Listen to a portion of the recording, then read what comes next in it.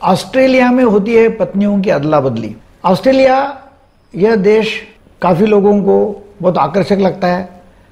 Australia को visit करने के लिए लोग बहुत उत्सुक रहते हैं। ऑस्ट्रेलिया की क्रिकेट टीम के बारे में बहुत लोगों को एक्साइटमेंट रहता है कि बहुत अच्छी टीम है ऑस्ट्रेलिया की। वर्ल्ड कप काफ़ी बार ले चुके हैं। और हर काम ऑस्ट्रेलिया में क्या है वीकली होते रहता है। मतलब वहाँ पेमेंट वीकली होता है। हर काम वीकली एक वीक में ख़त्म होता है। अकाउंट्स वीकली ख़त्म कर देते, ऐसा। 2017 में ऑस्ट्रेलिया की टोटल पॉपुलेशन है दो करोड़ छियालीस लाख। ऐसा बोला जाता है कि ऑस्ट्रेलिया का वर्णन मतलब अलग जगह, अलग अलग अलग तरीके से क्या हुआ है ऑस्ट्रेलिया में बिल्कुल जाना चाहिए और ऑस्ट्रेलिया देखने लायक जगह है, ऐसा बोला जाता है। सेक्स के बारे में ऑस्ट्रेलिया में ऐसा कहा जाता है कि वहाँ पत्नियों की अदला बदल होती रहती है। मतलब वो और वो नेचुरल है नॉर्मल है, वो कल्चरली एक्सेप्टेड है कि पार्टी होती है बड़ी बड़ी पार्टियाँ होती है और पार्टियों में फिर लोग अपने पत्नियों के साथ में जाते हैं और वहाँ अलग अलग प्रकार के लोग मतलब अलग अलग तरीके अपनाते हैं। जैसे कार की कीज एक डब्बे में डाल दिया और फिर कोई लेडी ने कोई कीज उठा लेना और जो लेडी ने वो की उठा लिया, उसका जो मालक होगा वो कार चल मतलब कार का जो ओनर है, वो उसका पार्टनर वो रात के लिए हो जाएगा।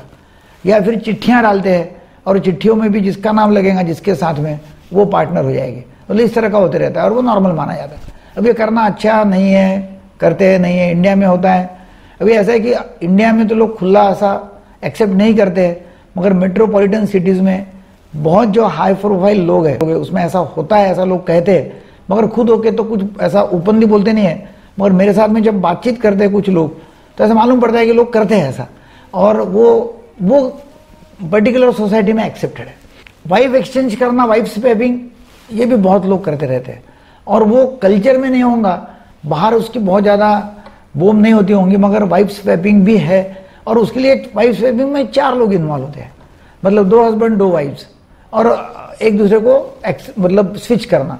इसमें क्या होता है कि चारों की सम्मति चाहिए।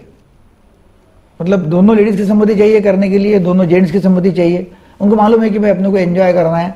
सेक्स और दोनों एक दूसरे को चाहत उनकी होना चाहिए। नहीं तो चाहत नहीं है। तो फिर ये नहीं होगा। तो वो वाइफ स्वैपिंग है वाइफ एक्सचेंज करना है वाइफ्स और ये जो है अदला बदल पत्नियों की, वो पार्टियों में होती है और वो बड़े पैमाने पे होती है। बड़े बड़े क्लब्स में होती है। तो ये करना नहीं करना, अपने देश में चालू है, नहीं चालू है अच्छा है, बुरा है, इसमें नहीं जाते हुए जस्ट जानकारी के लिए मैंने आपको दिया ये जानकारी कि भाई ये ऐसा होते रहता है। और एक वो लक्षण अच्छा माना जाता है कुछ सोसाइटीज़ में, कुछ सोसाइटी में एक्सेप्ट ही नहीं होगा इस तरह की बात भी नहीं कर सकेंगे लोग। ऐसा होता ही नहीं। फिर सवाल ये आता है कि फिर शादी क्यों करना है? जब ऐसी है तो इसलिए भी मेट्रोपॉलिटन सिटीज़ में बड़े बड़े सिटीज़ में ऐसा होता है कि अभी लिविंग रिलेशनशिप में रहो। जितने दिन रहना, उतने दिन रहो। जितने दिन नहीं रहना नहीं रहना, उतने दिन मत रहो।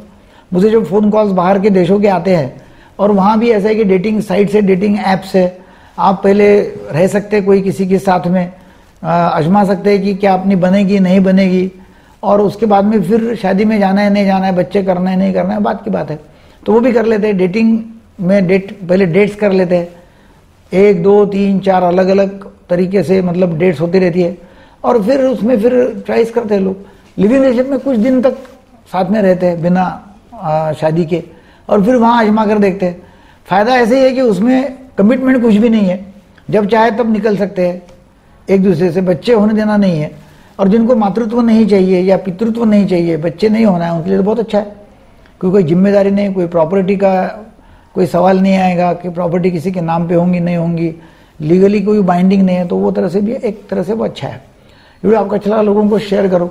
Thank you very much sex समस्याओं के बारे में मेरे काफ़ी सारे वीडियोस है। उसका हमने एक ऑनलाइन वीडियो रिकॉर्डिंग करके वर्कशॉप एक कोर्स बनाया हुआ है। वो कोर्स जो है ऑनलाइन कोर्स उसमें करीब करीब साठ वीडियोस हैं और उसमें हिप्नोटिज्म की भी है कि हिप्नोटिज्म के माध्यम से नपुंसकत्व, शीघ्र पतन कैसे ठीक करना और काफ़ी सारी सेक्स समस्याओं के बारे में जानकारी दी हुई है। वो समस्याओं की जानकारी से आपकी सभी सेक्स समस्याओं का समाधान हो सकता है। तो ये आप ऑनलाइन रिकॉर्डिंग कोर्स जो है तो ये ऑनलाइन रिकॉर्डेड कोर्स आप हमारे ऐप से ले सकते हैं। उसका डिस्क्रिप्शन नीचे दिया हुआ है, लिंक दी हुई है ऐप की।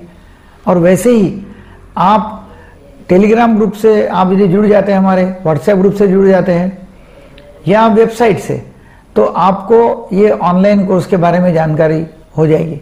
ये ऑनलाइन कोर्स करके आपके सभी समस्याओं का समाधान हो जाएगा। आप नीचे जो नंबर दिए, उसके ऊपर भी कॉल करके वो ऑनलाइन कोर्स खरीद सकते हैं। इंस्टा की भी लिंक दी हुई है। उसमें आप डायरेक्ट पेमेंट कर सकते हैं। Thank you very much